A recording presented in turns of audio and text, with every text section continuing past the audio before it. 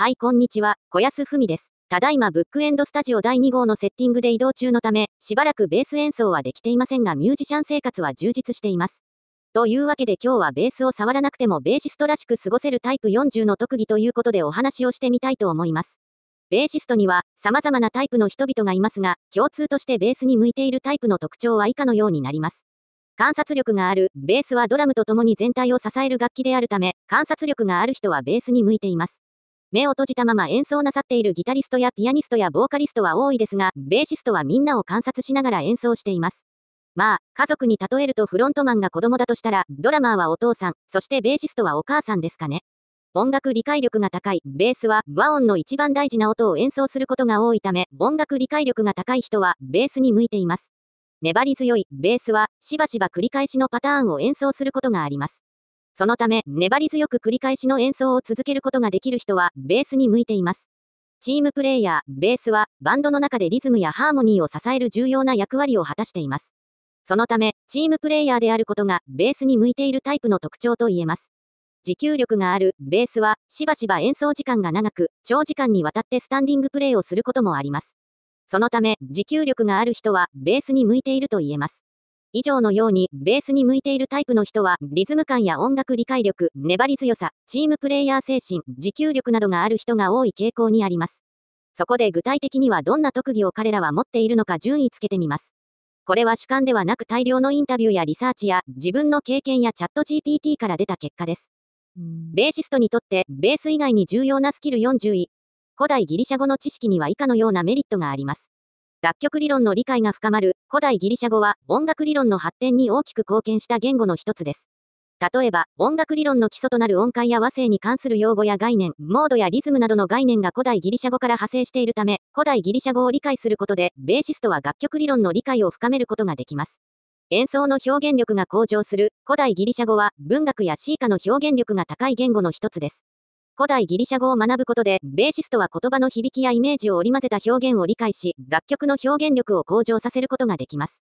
楽曲の解釈が深まる古代ギリシャ語の文学作品や詩歌は多彩な表現技法を用いて人間の情念や人生の哲学を描き出しています。古代ギリシャ語を理解することで、ベーシストは楽曲の歌詞やテーマを深く理解し、演奏による表現力を高めることができます。文化的背景を理解することができる古代ギリシャ文化は西洋文化の根源の一つとされています。古代ギリシャ語を学ぶことで、ベーシストは西洋文化の歴史や背景を理解し、演奏する楽曲に対するより深い知識と理解を得ることができます。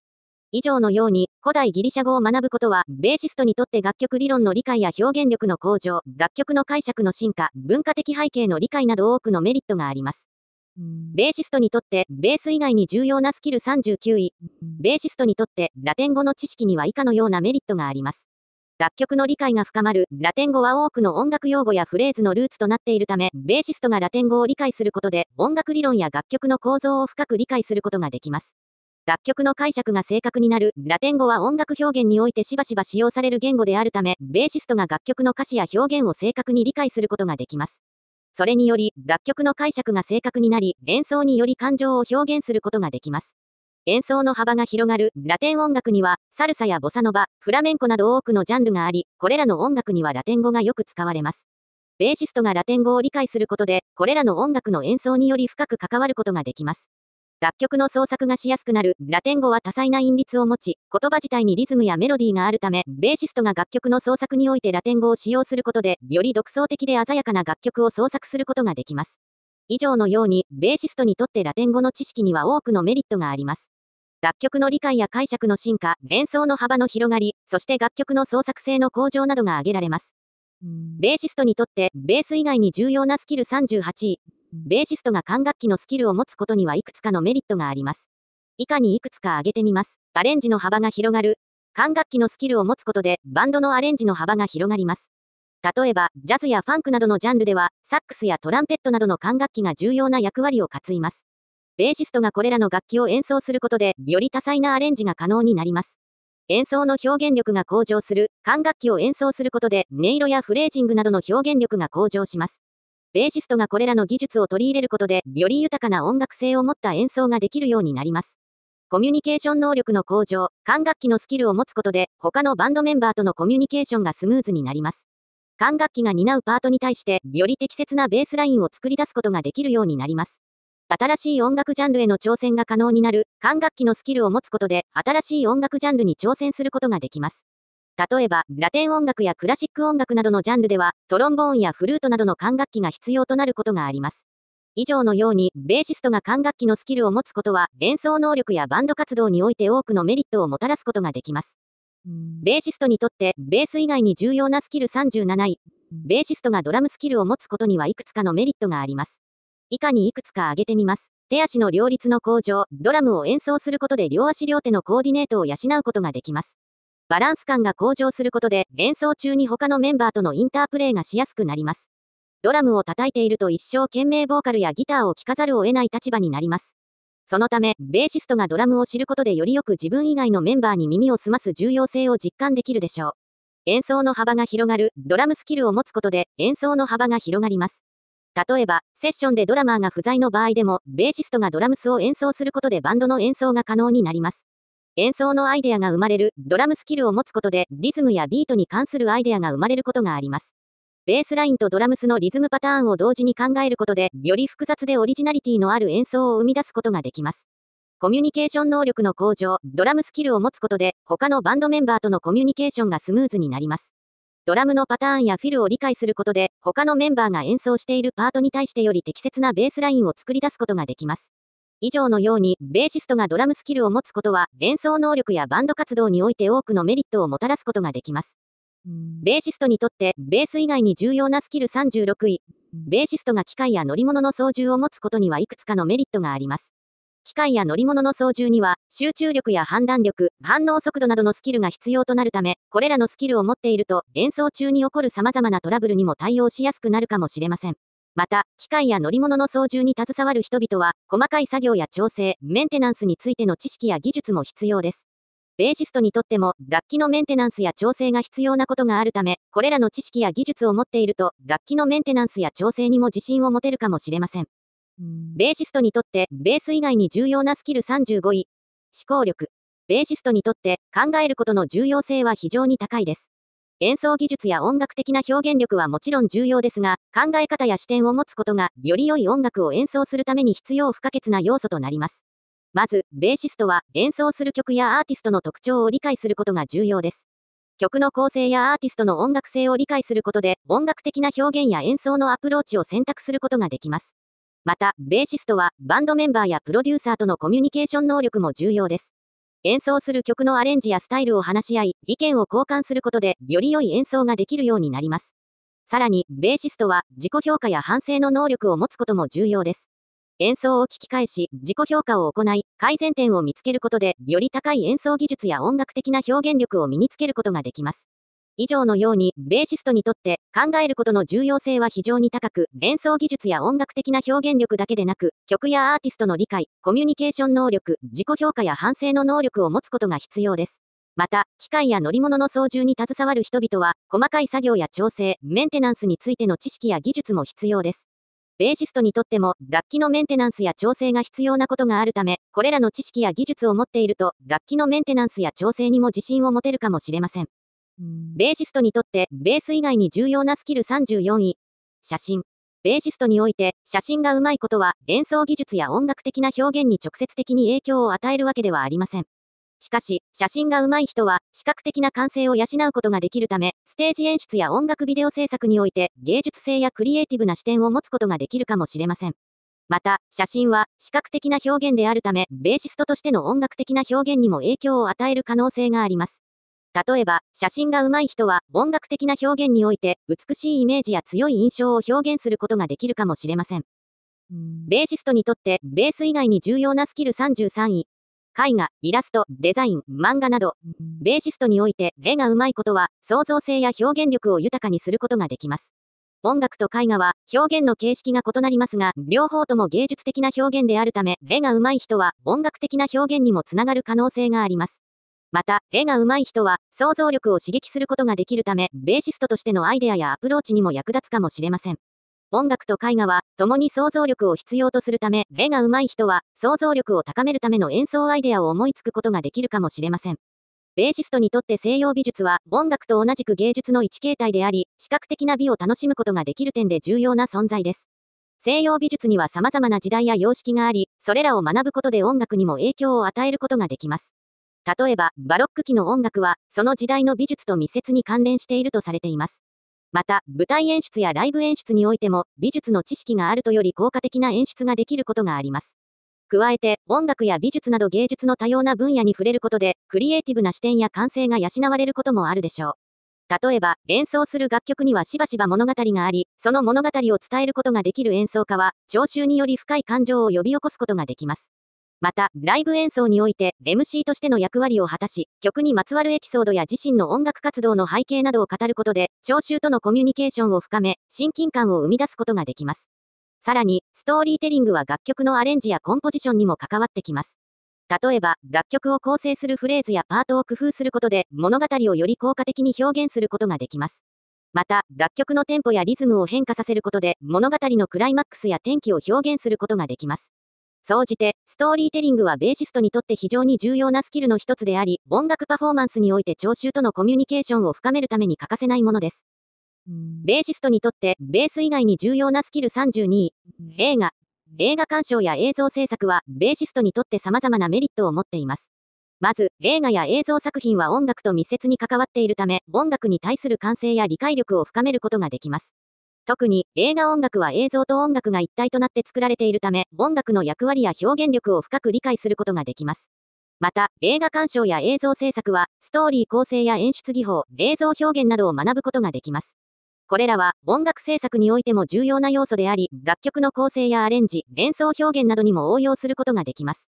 さらに、映画や映像作品を制作する際には、音楽の制作や編集、効果音の制作などにも携わることができます。これらの作業は音楽制作においても必要なスキルであり、自身の音楽制作能力を高めることができます。また、映画や映像作品は、様々な音楽ジャンルや演奏スタイルを取り入れた音楽が使用されるため、音楽の幅広い知識やバリエーションを学ぶことができます。これは、ベーシストとしても非常に重要な能力であり、自身の演奏スタイルや音楽性を豊かにすることができます。以上のように、映画鑑賞や映像制作は、ベーシストにとって非常に有益な活動であり、音楽制作や演奏において大きなメリットをもたらすことができます。ベーシストにとって、ベース以外に重要なスキル31位。手ぶらで旅する。ベーシストにとって旅することにはいくつかのメリットがあります。新たな音楽的影響を得ることができる、旅先で出会った音楽や文化は、ベーシストの創造性を刺激し、新たな音楽的影響を得ることができます。また、異なる地域の音楽シーンに触れることで、ベーシストの音楽的視野を広げることができます。異なる音楽的スタイルに挑戦することができる、旅先で異なる音楽的スタイルに触れることで、ベーシストは新たな音楽的スタイルに挑戦することができます。これは、自分の音楽性を向上させるために非常に役立ちます。新たな演奏機会を得ることができる、旅先でミュージシャンたちと出会い、演奏機会を得ることができる場合もあります。新たな音楽的チャレンジを通じてベーシストの演奏技術を向上させることができます。旅行は音楽活動から離れてリフレッシュするための良い機会となり、ストレスを解消することができます。以上のように、ベーシストにとって旅することは、視野を広げるための素晴らしい機会であります。ベーシストにとって、ベース以外に重要なスキル30位。ちゃんと自己主張する。ベーシストにとって自己主張は非常に重要なスキルの一つです。自己主張ができると、自分自身の意見やアイデアをはっきりと表明することができ、バンド内での意見の衝突を解決するために必要なコミュニケーションが円滑に行われるようになります。また、自己主張ができることで、自分自身のスキルや才能をアピールすることができます。自分の演奏に自信がある場合は、他のバンドメンバーやオーディエンスにアピールすることで、バンドの成長や自分自身のキャリアの発展につながる可能性があります。ベーシストにとってベース以外に重要なスキル29。ストーリーテリング。ベーシストにとってストーリーテリングは音楽パフォーマンスの中で非常に重要な役割を果たします。音楽は言葉で語り尽くすことができない情感やストーリーを表現する手段の一つであり、ストーリーテリングはその音楽をより深く理解し、聴衆に伝えるための重要な方法です。例えば、演奏する楽曲にはしばしば物語があり、その物語を伝えることができる演奏家は、聴衆により深い感情を呼び起こすことができます。また、ライブ演奏において MC としての役割を果たし、曲にまつわるエピソードや自身の音楽活動の背景などを語ることで、聴衆とのコミュニケーションを深め、親近感を生み出すことができます。さらに、ストーリーテリングは楽曲のアレンジやコンポジションにも関わってきます。例えば、楽曲を構成するフレーズやパートを工夫することで、物語をより効果的に表現することができます。また、楽曲のテンポやリズムを変化させることで、物語のクライマックスや転機を表現することができます。総じて、ストーリーテリングはベーシストにとって非常に重要なスキルの一つであり、音楽パフォーマンスにおいて聴衆とのコミュニケーションを深めるために欠かせないものです。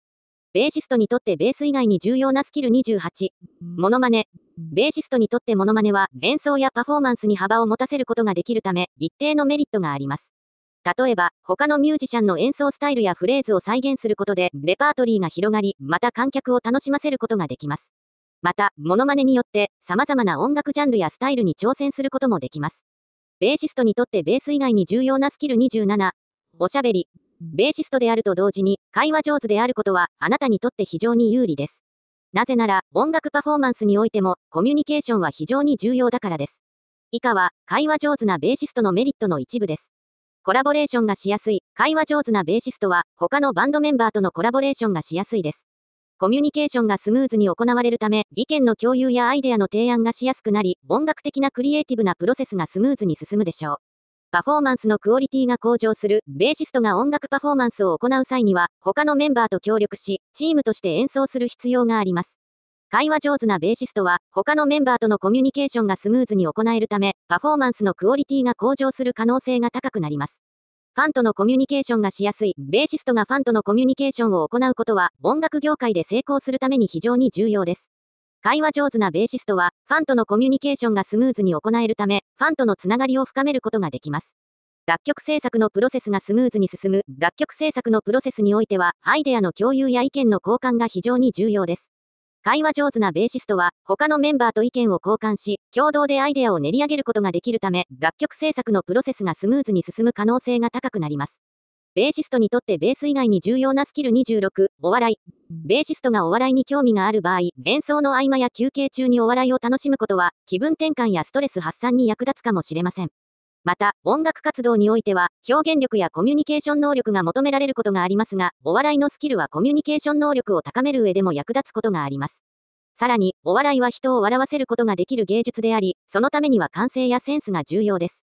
ベーシストとしても、音楽においては感性やセンスが求められるため、お笑いに触れることで音楽活動においても芸術的なセンスを磨くことができるかもしれません。ベーシストにとってベース以外に重要なスキル25、ゲーム。特にチェス、バックギャモン、スクラブルなどのボードゲームは、ベーシストにとって音楽活動以外での交流の場を提供してくれます。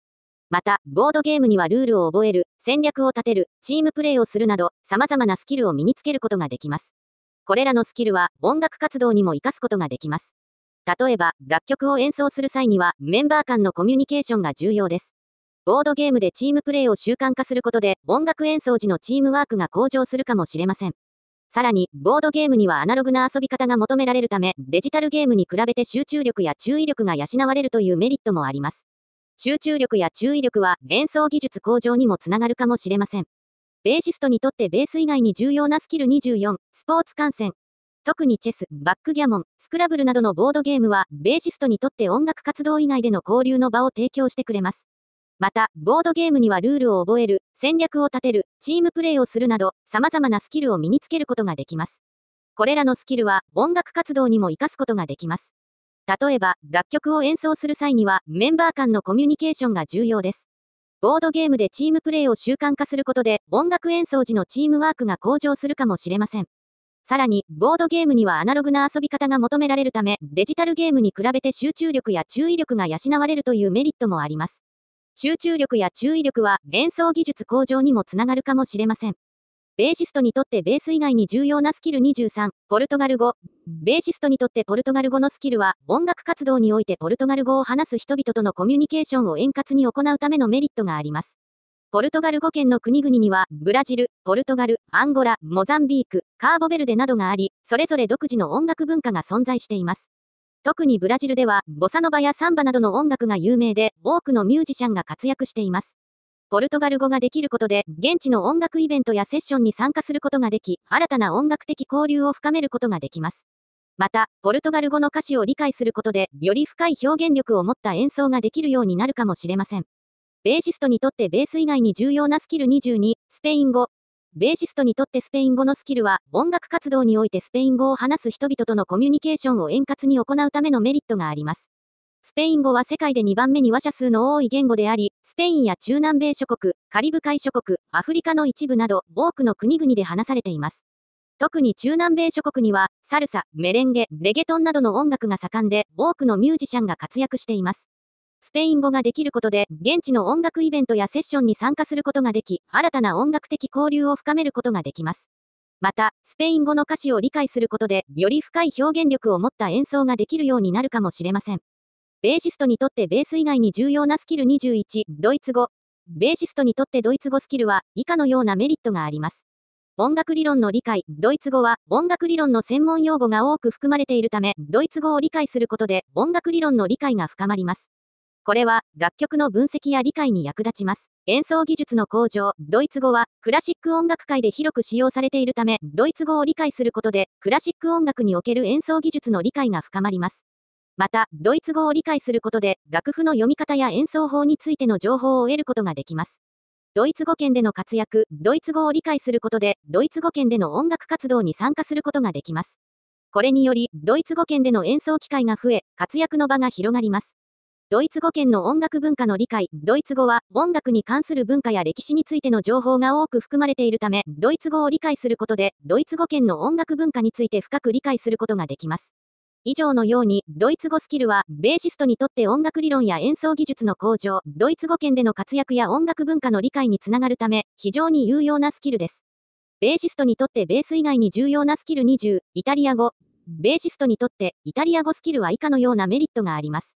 楽曲の理解、イタリア語は、オペラや宗教音楽、バロック期の音楽など、クラシック音楽の分野で広く使用されている言語です。イタリア語を理解することで、楽曲の歌詞や表現について深く理解することができます。コミュニケーション能力の向上、イタリアは音楽に対して熱心な国の一つであり、音楽関係者とのコミュニケーションにおいて、イタリア語が必要になる場合があります。イタリア語を話せることで、音楽関係者とのコミュニケーションがスムーズになり、仕事の幅が広がる可能性があります。イタリアの音楽文化の理解、イタリアは世界的に有名な音楽の国の一つです。イタリア語を理解することで、イタリアの音楽文化について深く理解することができます。これにより、イタリアの音楽を演奏する場合に、より適切な表現や解釈ができるようになります。イタリアでの演奏活動のチャンス、イタリアは音楽の本場であり、多くの音楽祭やコンサートが開催されています。イタリア語を話せることで、イタリアでの演奏機会が増え、キャリアの発展につながる可能性があります。以上のように、イタリア語スキルは、ベーシストにとって楽曲の理解、コミュニケーション能力の向上、イタリアの音楽文化の理解、そしてイタリアでの演奏活動のチャンスなど、多くのメリットがあるため、非常に有用なスキルです。ベーシストにとってベース以外に重要なスキル19、ダンス。ベーシストにとってダンスのメリットは、以下のように考えられます。演奏にリズム感を加えることができる、ベーシストは、リズムセクションの一員として演奏します。ダンスをすることでリズム感が養われ、演奏に余分なリズム感を加えることができます。また、音楽に合わせた動きをすることで、より音楽的な演奏が可能となります。ステージパフォーマンスの魅力が増す、ダンスは、視覚的に見ても魅力的な動きを生み出すことができます。ベーシストとしては、ステージ上での演奏とともに、ダンスをすることで観客により強いインパクトを与えることができます。身体能力が向上する、ダンスは体を動かすことで、柔軟性やバランス感覚、筋力などを養うことができます。ベーシストとしては、身体能力の向上によって演奏時の姿勢やスタミナなど、演奏に必要な要素を向上させることができます。ジャンルに合わせたダンスができる、音楽には様々なジャンルがありますが、それぞれのジャンルに合わせたダンスをすることで、より音楽的な演奏が可能となります。以上のように、ベーシストにとってダンスには、演奏にリズム感を加えたり、ステージパフォーマンスの魅力を増したり、身体能力の向上や、ジャンルに合わせたダンスをすることでより音楽的な表現ができるなど、様々なメリットがあります。ベーシストにとってベース以外に重要なスキル18、食いしん坊。食いしん坊であることは、ベーシストにとって以下のようなメリットがあります。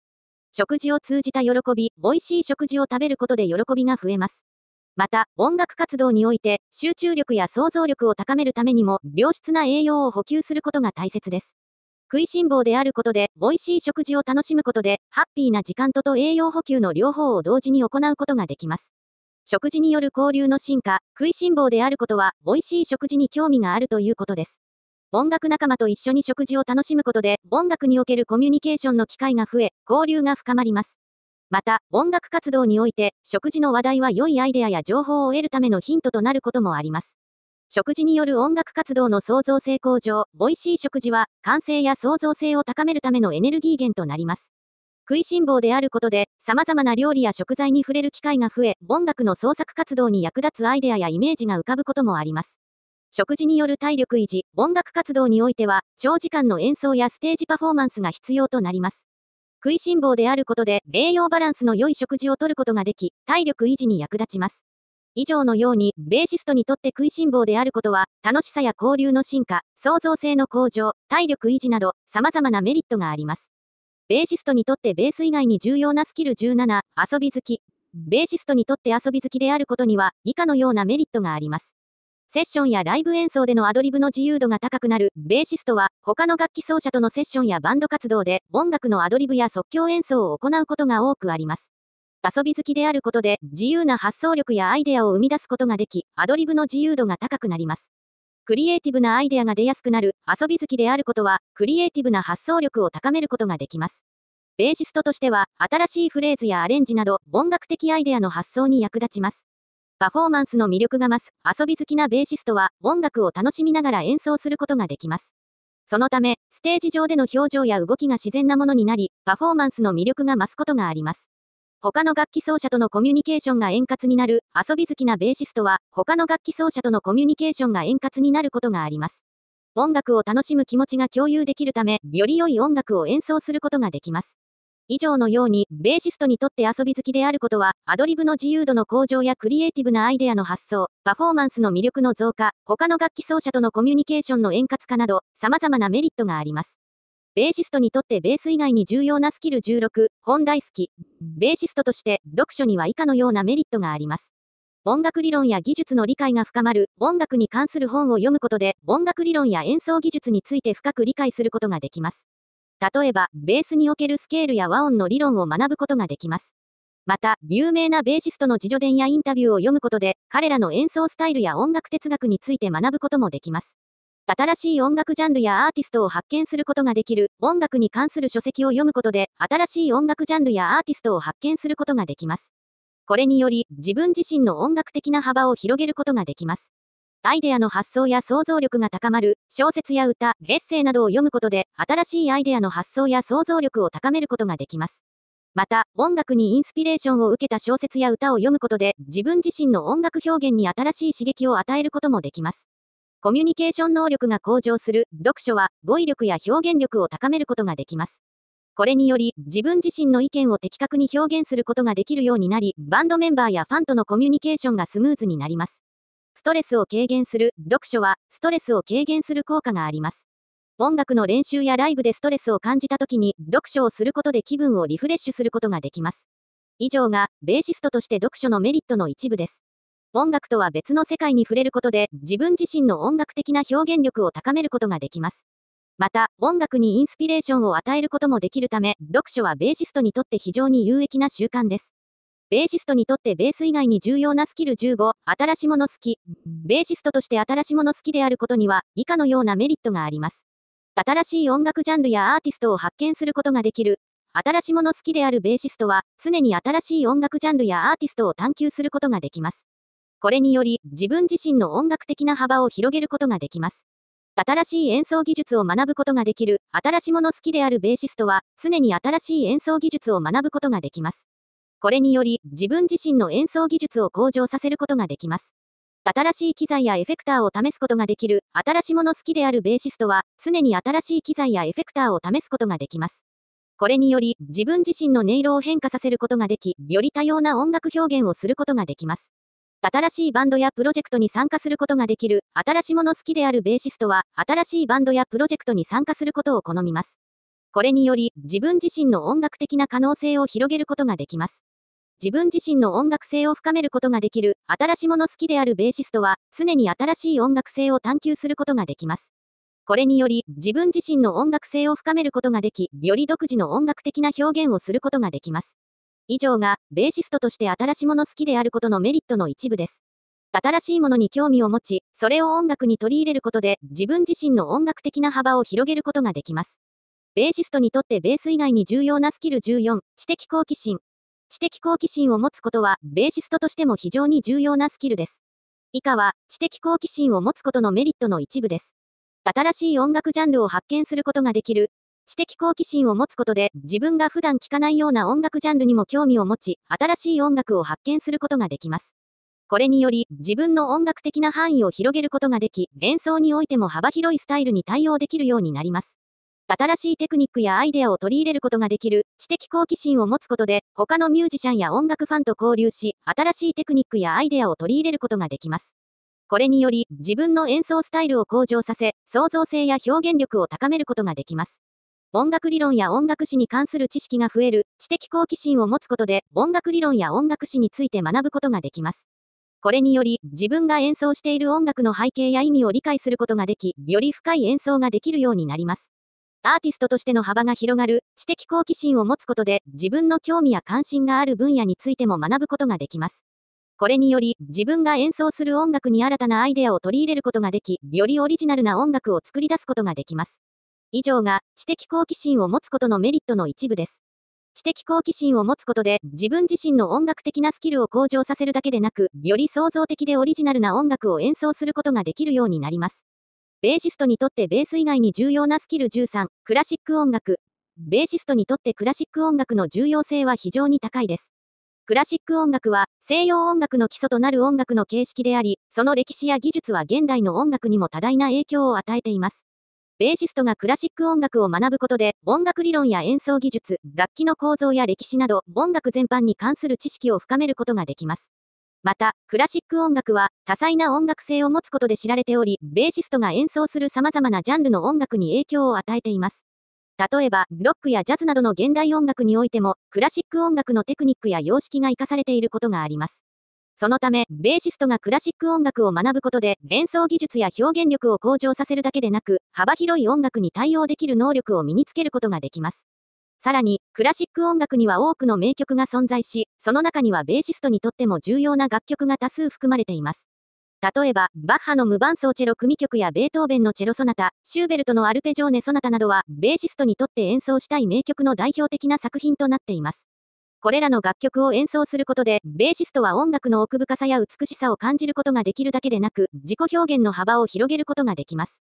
ベーシストにとってベース以外に重要なスキル12、リーダーシップスキル。ベーシストがリーダーシップスキルを持つことには、以下のようなメリットがあります。バンドメンバーとのコミュニケーションが円滑になる、リーダーがコミュニケーションを取ることで、バンドメンバーは彼らの貢献やアイデアを共有することができます。このようなコミュニケーションは、意見の食い違いを解消することができ、チームワークを向上させます。目標を達成するための戦略を立てることができるリーダーはバンドメンバーと一緒に目標を設定し、達成するための戦略を立てることができます。このような計画は、目標達成に向けた一歩を踏み出すための方向性を提供します。バンドメンバーのスキルを引き出すことができるリーダーは、バンドメンバーのスキルを引き出すことができます。リーダーは、彼らの強みを認識し、それらを最大限に活用することで、バンドのパフォーマンスを向上させることができます。時間や予算の効率的な管理ができるリーダーは、時間や予算を効率的に管理することができます。彼らは予算に応じた計画を立て、時間に対してタスクを優先順位づけることで、バンドの活動を効果的に管理することができます。バンドメンバーのモチベーションを高めることができるリーダーは、バンドメンバーのモチベーションを高めることができます。彼らはメンバーが目標達成に向けて取り組んでいることを認め、彼らの貢献を称賛することで、モチベーションを高めることができます。以上が、ベーシストがリーダーシップスキルを持つことのメリットの一部です。リーダーシップスキルを持つことで、バンドのパフォーマンスやチームワークが向上し、バンドメンバー全員がより満足のいく演奏を実現することができます。ベーシストにとってベース以外に重要なスキル11、レコーディングスキル。ベーシストがレコーディングスキルを持つことは多くのメリットがあります。以下にいくつかの重要なメリットをご紹介します。ミュージシャンとしてのスキルアップ、レコーディングは演奏や作曲と同じくらい重要なスキルです。レコーディングを学ぶことでミュージシャンとしてのスキルが向上し、より高度な音楽制作が可能になります。音楽制作の効率化、レコーディングスキルを習得することで、自分で作曲した曲や演奏した曲を録音して、自分の音楽をプロデュースすることができます。自分でレコーディングができるようになると、スタジオに入る必要がなくなり、時間やお金を節約することができます。レコーディングエンジニアとしてのキャリアアップ、レコーディングエンジニアとしてのキャリアを追求することもできます。レコーディングスキルを習得することで、レコーディングエンジニアとしての経験を積むことができ、プロのレコーディングエンジニアとしての道が開けます。アーティストとしての自己表現、レコーディングスキルを習得することで、アーティストとして自分の音楽を録音し、自己表現することができます。自分で音楽制作ができるようになることで、自分の音楽を自分の手で制御することができ、よりオリジナルな作品を制作することができます。録音技術の理解、レコーディングスキルを習得することで、音楽の録音技術について深く理解することができます。録音技術を理解することで、音のクオリティを向上させることができ、より高度な音楽制作が可能になります。以上のようなメリットがあるため、レコーディングスキルはミュージシャンとしてのスキルアップにとって非常に重要なスキルであると言えます。ベーシストにとってベース以外に重要なスキル10、バイオリンスキル。ベーシストにとってバイオリンスキルを持つことにはいくつかのメリットがあります。表紙感やリズム感の要請。バイオリン演奏にはリズム感や表紙感が求められます。ベーシストがバイオリンスキルを持つことで、リズム感や表紙感を磨くことができます。これにより、ベースラインをより正確に演奏することができるようになります。演奏技術の向上、バイオリンは、細かいフレーズやテクニックが求められる楽器です。ベーシストがバイオリンスキルを持つことで、細かいテクニックやフレーズを練習することができます。これにより、ベースラインにもバリエーションをつけたり、より豊かな演奏をすることができます。音楽理論の理解、バイオリンはメロディアスな楽器であるため、音楽理論について理解を深めることができます。ベーシストがバイオリンスキルを持つことで、音楽理論に関する知識を磨くことができます。これにより、より高度なベースラインを作ることができます。アレンジ能力の向上、バイオリンは、バンドでのアレンジにおいて非常に重要な役割を果たします。ベーシストがバイオリンスキルを持つことで、アレンジ能力を向上させることができます。例えば、ベースラインとバイオリンの相性を考えたアレンジをすることができます。バンド活動の幅を広げる、バンドで演奏する曲には、様々なジャンルがあります。ベーシストがバイオリンスキルを持つことで、様々なジャンルの曲を演奏することができます。これにより、バンド活動の幅を広げることができます。以上のように、ベーシストにとってバイオリンスキルを持つことは、音楽的なスキルや理解を深めることができ、より豊かな演奏やアレンジをすることができます。また、バンド活動の幅を広げることができるでしょう。ベーシストにとってベース以外に重要なスキル9、モテる。ベーシストにおけてモテることには、以下のようなメリットがあります。ファンの獲得音楽を演奏する人が魅力的であると、その人のファンが増えることがあります。ファンが増えることで音楽的な成功を収めやすくなります。また、ファンが多ければ、コンサートやライブなどのイベントを成功させることができる可能性も高くなります。コラボレーションの機会持てるベーシストは、他のミュージシャンとのコラボレーションの機会も増えます。他のミュージシャンが、持てるベーシストの魅力に惹かれ、一緒に音楽活動をしたいと思うことがあります。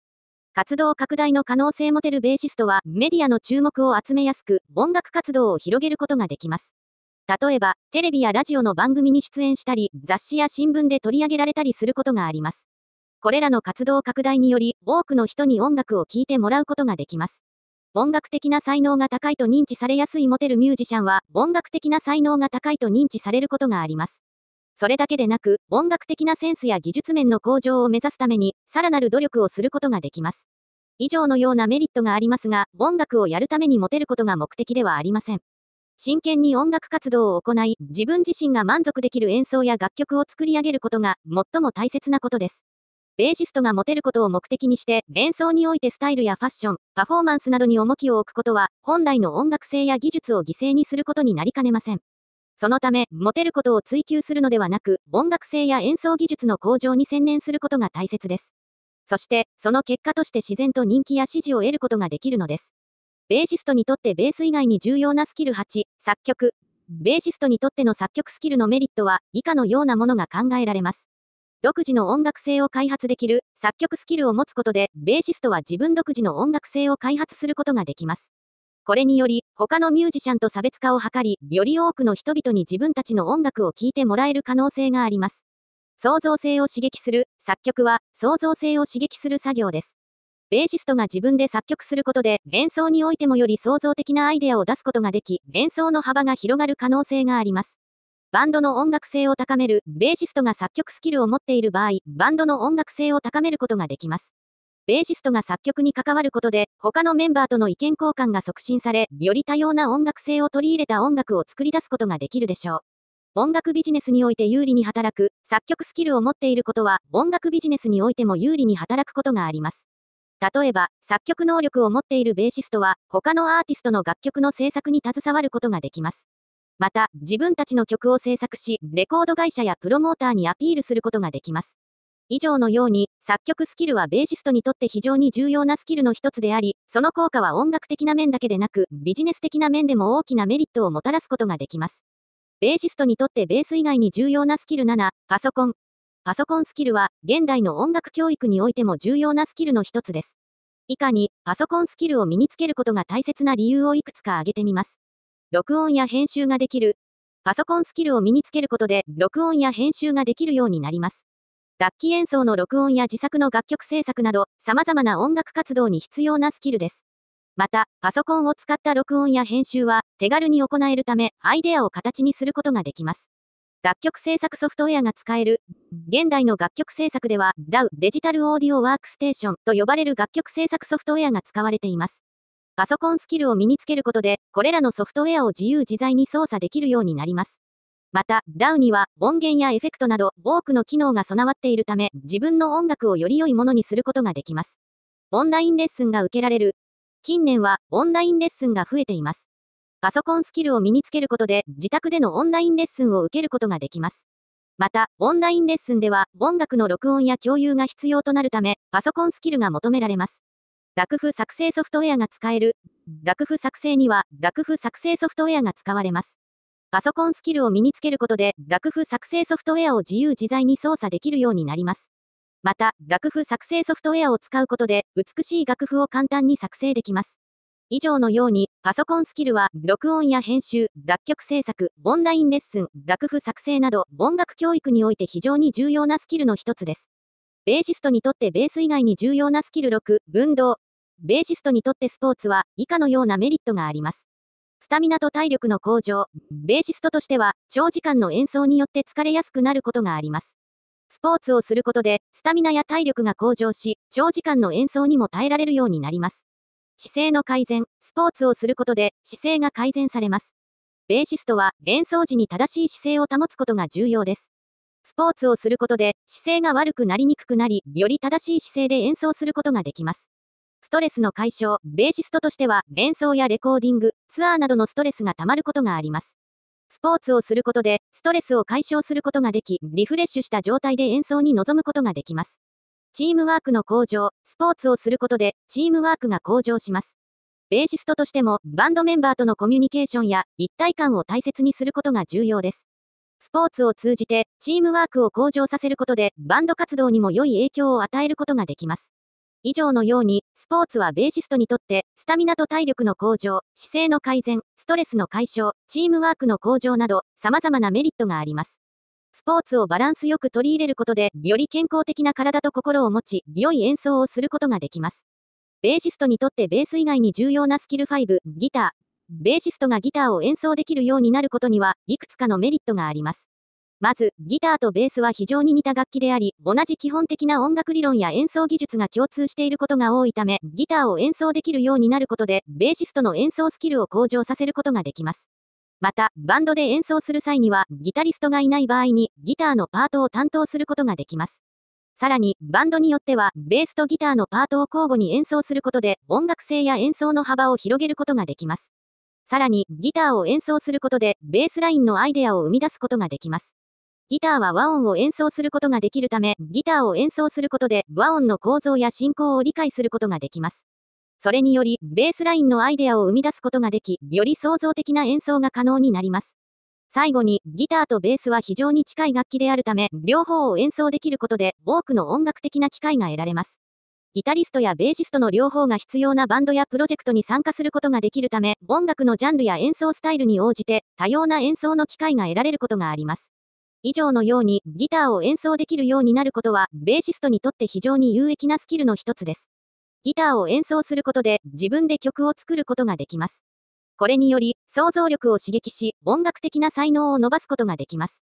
以上のように、ギターを学ぶことは、趣旨の技術の向上、音楽理解力の向上、自己表現力の高め、多彩な音楽ジャンルに対応する力の向上、創作活動の促進など、多くのメリットがあります。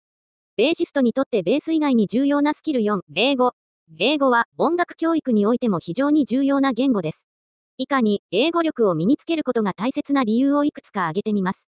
楽曲の歌詞を理解できる多くの音楽は、英語で歌われています。英語を理解することで、楽曲の歌詞を理解し、その楽曲の本来の意図を理解することができます。また、歌詞の意味を理解することで、歌唱表現にも深みが出てきます。外国人アーティストの楽曲を理解できる英語は、音楽においても国際的な共通語です。海外のアーティストの楽曲を理解するためには、英語力が必要です。英語を理解することで、より広い音楽の世界に触れることができます。音楽理論を理解できる音楽理論には、英語で書かれた教材や文献が多く存在します。英語を理解することで、音楽理論を学ぶことができます。また、英語での音楽理論の学習は、海外の音楽教育や音楽研究にもつながります。海外の音楽学校に進学できる海外の音楽学校に進学するには、英語力が必要です。英語力があることで、海外の音楽学校での学習や交流がスムーズに進めることができます。以上のように、英語力は、楽曲の歌詞や音楽理論の理解、外国人アーティストの楽曲の理解、海外の音楽学校への進学など、音楽教育において非常に重要なスキルの一つです。ベーシストにとってベース以外に重要なスキル3、歌。歌を歌うことがベーシストにとってどのようなメリットがあるかについて一般的な情報をお伝えします。歌を歌うことは、ベーシストにとって音楽的なスキルや表現力を向上させることができます。歌を歌うことで、メロディーやフレーズを感覚的に理解し、自分の演奏に反映させることができます。また、歌を歌うことで声帯や呼吸のトレーニングができ、演奏時に必要な体力やスタミナを向上させることができます。さらに、歌を歌うことは演奏に感情や表現力を与えることができます。歌を通してメロディーや歌詞に込められた意味や感情を理解し、演奏に反映させることで、より表現豊かで感情的な演奏をすることができます。ただし、歌を歌うことはベーシストにとって必ずしも必要なスキルではありません。それでも、歌を歌うことは全ての楽器演奏における表現力や音楽的なスキルの向上に役立ちます。ベーシストにとってベース以外に重要なスキル2、ピアノ。まず、ピアノは音楽理論を学ぶための優れた楽器です。ベース奏者は音楽理論を理解し、和音の構造や和声のルールを知ることが重要です。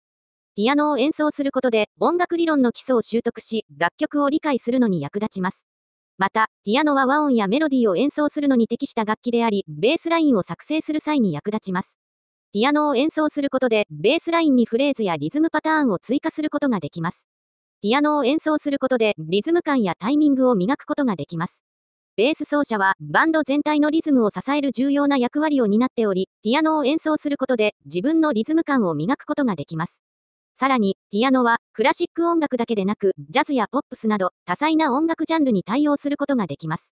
そのため、幅広い音楽を演奏することができ、音楽的な知識や経験を増やすことができます。ピアノを演奏することで自分で曲を作ることができます。これにより、想像力を刺激し、音楽的な才能を伸ばすことができます。ベーシストにとってベース以外に重要なスキル1、ルーツ音楽。ベーシストにとってルーツ音楽を学ぶことは非常に重要です。ルーツ音楽とは、ベースの演奏において重要な役割を果たした、ジャズ、ブルース、フォーク、カントリー、ロックンロール、ゴスペル、ファンク、ソウル、レゲエなどの音楽を指します。ルーツ音楽を学ぶことによって、以下のようなメリットがあります。基礎的なテクニックの習得、ルーツ音楽には、ベース演奏に必要な基礎的なテクニックが多く含まれています。例えば、ジャズ音楽には、スケールやアルペジオの演奏、コードの理解が必要です。ブルース音楽には、ブルーススケールやブルースの基本的な進行が必要です。ルーツ音楽を学ぶことで、これらの基礎的なテクニックを習得することができます。様々な音楽の影響を理解するルーツ音楽は、様々なジャンルの音楽に大きな影響を与えています。ルーツ音楽を学ぶことで、ベーシストは自分が演奏する音楽のルーツや影響を理解することができます。これにより、自分の演奏により深みや広がりを持たせることができます。音楽的なセンスを高めるルーツ音楽は豊かな音楽的な要素を持っています。例えば、ブルース音楽にはエモーショナルなフレーズやビブラートがあります。ジャズ音楽には多彩なコード進行やフレーズがあります。ルーツ音楽を学ぶことで、これらの音楽的な要素を自分の演奏に取り入れることができ、より表現力豊かな演奏ができるようになります。ベースの歴史を理解するルーツ音楽は、ベースの演奏において重要な役割を果たしてきました。ルーツ音楽を学ぶことで、ベーシストは自分が演奏する楽器の歴史や進化を理解することができます。これにより、自分が演奏する楽器に対する愛着や情熱を深めることができます。ベーシストにとって、ブルースを聴くことは非常に重要です。ブルースはアメリカの文化を反映している音楽ジャンルであり、ギター、ベース、ドラムスなどの楽器を使って演奏されます。ブルース音楽は非常に感情的で激しいリズムやブルージーなベースラインが特徴です。ブルース音楽を聴くことにより、ベーシストはブルースの基本的なコード進行やリズムを学ぶことができます。また、ブルース音楽は、ソロ演奏や即興演奏が盛んであるため、ベーシストが独自のフレーズやアイデアを生み出すための技術やアプローチを学ぶことができます。さらに、ブルース音楽は、感情的な表現が求められるため、ベーシストが演奏する際には、自分の感情を表現することが必要となります。ブルース音楽は、悲しみや苦悩、失恋などのテーマを扱っていることが多いため、ベーシストが演奏に自分の感情を込めることができるようになると、演奏に深みが出てきます。さらに、ブルース音楽は、他の音楽ジャンルにも影響を与えているため、ベーシストがブルース音楽を聴くことで、他の音楽ジャンルへの理解が深まり、幅広い音楽的知識を得ることができます。以上のように、ブルース音楽は、ベーシストにとって非常に重要な音楽ジャンルであり、基本的なコード進行やリズム、独自のフレーズやアイデアを生み出す技術やアプローチ、自分の感情を表現する力を身につけることができます。また、他の音楽ジャンルへの理解が深まることで、より幅広い音楽的経験を得ることができます。それと同時にベーシストにとって、カントリーミュージックを聴くことは非常に重要です。カントリーミュージックは、ルーツ音楽の一つであり、ベースにとって重要なジャンルの一つです。ウォーキングベースの演奏技術の習得、カントリーミュージックには、ウォーキングベースの演奏が頻繁に登場します。ウォーキングベースは、一定のリズムで低音から高音へと音を移動させる演奏技法であり、ベース演奏において非常に重要な技術です。カントリーミュージックを聴くことによって、ウォーキングベースの演奏技法を習得することができます。コード進行の理解、カントリーミュージックには、独特のコード進行が存在します。これらのコード進行を理解することによって、ベーシストはより複雑なコード進行にも対応することができます。ベースラインのアレンジ、カントリーミュージックは、バンジョーやフィドルなどの楽器と一緒に演奏されることが多いため、ベースの演奏においてはアレンジが非常に重要です。カントリーミュージックを聴くことによって、ベーシストはベースラインのアレンジについて学ぶことができます。スラップ奏法の習得、カントリーミュージックには、スラップ奏法がよく使われます。スラップ奏法は、弦を弾くような音を出す演奏技法であり、ベーシストにとって非常に魅力的な技法の一つです。カントリーミュージックを聴くことによって、スラップ奏法の習得に役立つことがあります。さらに、カントリーは音楽において重要な歴史的な役割を果たしています。多くの音楽ジャンル、特にロックンロールやポップスなどのジャンルに、カントリーからの影響が見られます。ベーシストがカントリーの音楽を聴くことで、音楽のルーツを理解することができ、より深い音楽的知識を獲得することができます。ベーシストにとって、ゴスペルを聴くことは非常に重要です。ゴスペルは、リズムや和声の複雑さ、またはスピリチュアルな要素によって知られています。ゴスペルの音楽は、多くの場合、ベースが中心的な役割を果たします。ゴスペルの音楽を聴くことで、ベーシストは、リズムや和声の複雑さになれることができます。ゴスペルは、しばしば複雑なリズムパターンや、ベースラインの変化が多い曲が多いため、これらを練習することは、ベーシストにとって非常に役立ちます。また、ゴスペルは、スピリチュアルな要素を持っています。音楽が持つ力や感情を伝えるためには、音楽を演奏する人がその感情を理解している必要があります。ゴスペルの音楽を聴くことで、ベーシストは音楽をより感情的に演奏することができるようになります。さらに、ゴスペルは音楽において重要な歴史的な役割を果たしています。多くの音楽ジャンル、特にリズムブルースやソウルなどのジャンルに、ゴスペルからの影響が見られます。ベーシストがゴスペルの音楽を聴くことで、音楽のルーツを理解することができ、より深い音楽的知識を獲得することができます。以上のように、ベーシストにとって、ゴスペルの音楽を聴くことは非常に重要であり、音楽的スキルの向上や、音楽の歴史的な背景を理解するために役立つでしょう。ベーシストにとって、フォーク音楽を聴くことも重要です。フォーク音楽は、アコースティック楽器を使用し、歌詞が重要な要素となっている音楽ジャンルであり、多くの場合、シンプルでストレートな楽曲構成を持っています。フォーク音楽は、ベーシストが楽曲によりシンプルなベースラインを弾くことが求められることがあります。フォーク音楽には、コード進行やリズムが比較的単純で、ベーシストはその中で自分なりのアレンジや表現を加えることができます。また、フォーク音楽には、様々な音楽ジャンルからの影響が見られるため、音楽的知識を広げることもできます。さらに、フォーク音楽は歌詞が重要な要素であるため、ベーシストが楽曲の歌詞やストーリーに共感し、感情を表現することが求められることもあります。ベーシストが楽曲のストーリーを理解し、感情を表現することは、演奏の深みや表現力を増すことにつながります。さらに、フォーク音楽は、人々の生活や文化を反映しているため、地域性や文化的背景によって異なる音楽があることも特徴です。ベーシストがフォーク音楽を聴くことで、音楽的に異なる文化を理解することができ、より多様な音楽的経験を得ることができます。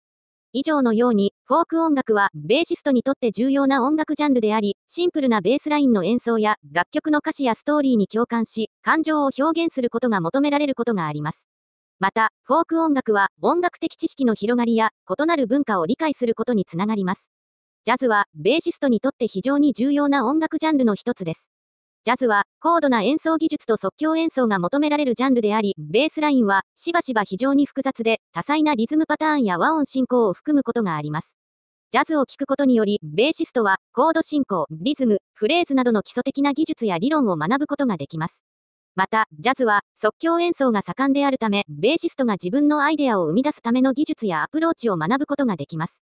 さらに、ジャズは多様な音楽スタイルや文化の影響を受けているため、ベーシストが音楽の多様性や異なる文化に触れることができます。また、ジャズはベースにとって非常に重要な役割を持っています。ベースはジャズバンドのリズムセクションであり、他の楽器との調和を取ることが求められます。ジャズのベースラインは、ハーモニーとメロディーをつなぎ合わせ、リズム感を支えるため、ベーシストが正確かつ緻密な演奏をすることが必要です。以上のように、ジャズは、ベーシストにとって非常に重要な音楽ジャンルであり、基礎的な技術や理論、即興演奏に必要な技術やアプローチ、音楽の多様性や異なる文化に触れることができます。また、ベースの役割や演奏スタイルについても深く学ぶことができます。ラテンは、ベーシストにとって非常に重要な音楽ジャンルの一つです。ラテン音楽は、キューバ、プエルトリコ、ドミニカ共和国、ブラジルなどのラテンアメリカ諸国の音楽から成り立っており、サルサ、メレンゲ、ボサノバ、ラテンジャズなど、多様なスタイルがあります。ラテン音楽は、強いリズム感やダンサブルな曲調が特徴的であり、ベーシストは、リズムセクションの中心的役割を担います。ラテン音楽のベースラインは、しばしば重厚でリズミカルであり、曲のエッセンスを表現するために不可欠な要素となっています。また、ラテン音楽は、ベースにとって非常に技術的なジャンルでもあります。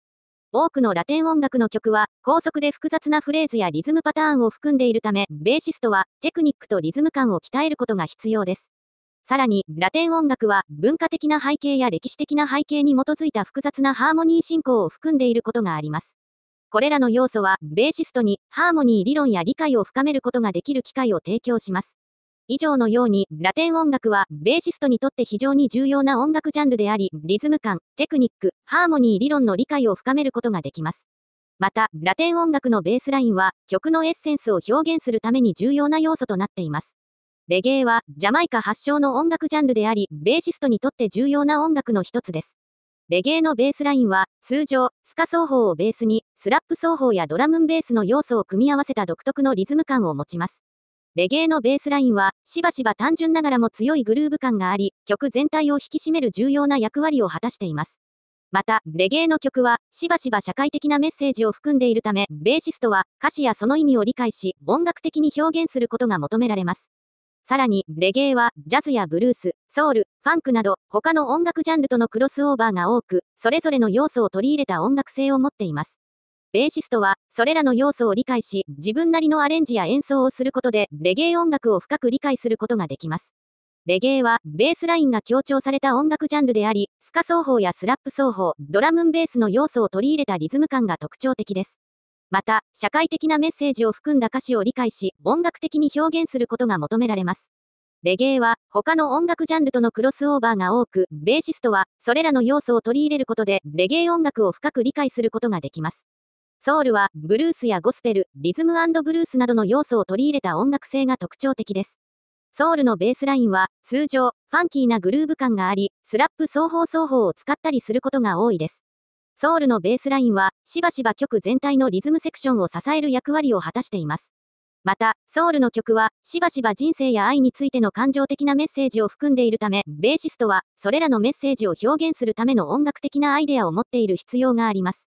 さらに、ソウルは、ジャズやファンク、ブルース、ロックなど、他の音楽ジャンルとのクロスオーバーが多く、それぞれの要素を取り入れた音楽性を持っています。